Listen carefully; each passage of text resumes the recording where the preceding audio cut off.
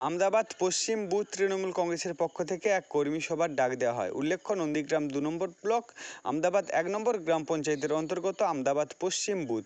এই আমদাবাদ পশ্চিম বুথে এক কর্মী সভার ডাক দেওয়া হয়। নেতৃত্ব হিসেবে উপস্থিত ছিলেন আমদাবাদ এক নম্বর গ্রাম পঞ্চায়েতের সভাপতি প্রভাস মাইতি, এছাড়াও ব্লক নেতৃত্ব সঞ্জয় দিন্দা এবং অন্যান্য নেতৃত্ব।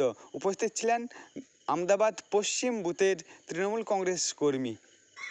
পুজোর সময় শুভেচ্ছা বিনিময় এবং আগামী পঞ্চায়েত নির্বাচনে যাতে তৃণমূল কংগ্রেস ভালো ফলাফল করতে পারে তারই জন্য এই কর্মী সভা।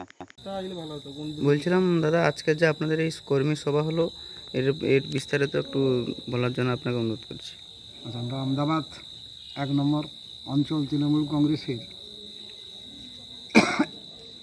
একশো চুয়ান্ন নম্বর যে বুথ আছে সেই বুথের সভাপতির আহ্বানে এবং অঞ্চল তৃণমূল কংগ্রেসের কমিটির উপস্থিতিতে এবং এই বুথের কয়েকশো কর্মীর উপস্থিতিতে আমরা তৃণমূল কংগ্রেসের একটি বুথ সভা করলাম। এই বুথ সভার মূল আলোচ্য সেটি হচ্ছে যে তৃণমূল কংগ্রেসের প্রতি আস্থা জ্ঞাপন এবং তৃণমূল কংগ্রেসের প্রজার প্রাককালে সমস্ত কর্মীদের শুভেচ্ছা বার্তা দেওয়া এবং দলকে সুসংগঠিত করে আগামী পঞ্চায়েত নির্বাচনে আমরা বিরোধী পক্ষ, বিজেপির সঙ্গে লড়াই করব। আজকের এই সভা থেকে এই সিদ্ধান্ত গ্রহণ করা হলো।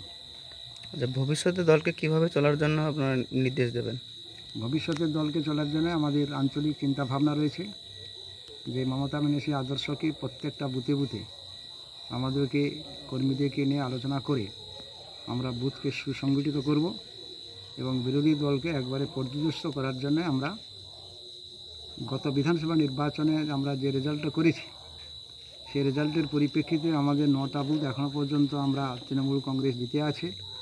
এত সংকট পরিস্থিতির মধ্যেও সেদিক থেকে আমাদের আগামী দিনে গ্রাম পঞ্চায়েত আমরা তৃণমূল কংগ্রেস দখল করব। এই উদ্দেশ্য নিয়েই আমরা প্রত্যেকটা বুথে বুথে এই ধরনের সভা করছি। আচ্ছা আপনার নাম? আপনি কি আমার নাম প্রভাষ চন্দ্র মাইতি। আমি আহমেদাবাদ এক নম্বর অঞ্চল তৃণমূল কংগ্রেসের সভাপতি। আচ্ছা ধন্যবাদ।